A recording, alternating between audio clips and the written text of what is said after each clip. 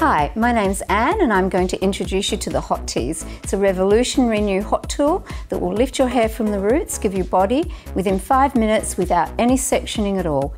Now I'm going to show you how to use it. First of all, I'm going to apply a root lift spray for maximum result. I'm just going to section the hair and put small amounts on the root. Then I like to comb that.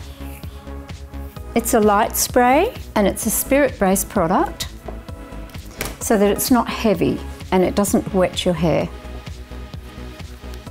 I just lift the hair between my fingers and it slides through very easily and then I just give it a bit of a turn on the end so that it curls.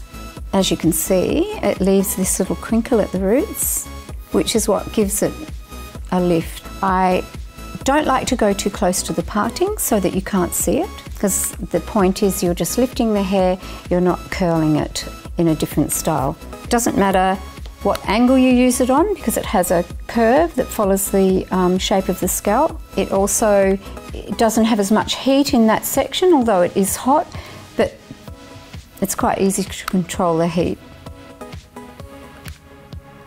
And it's quite instantaneous. If I uh, want to have just a little bit more flick, I would just use it as you would use a straightening iron, just by turning it like that.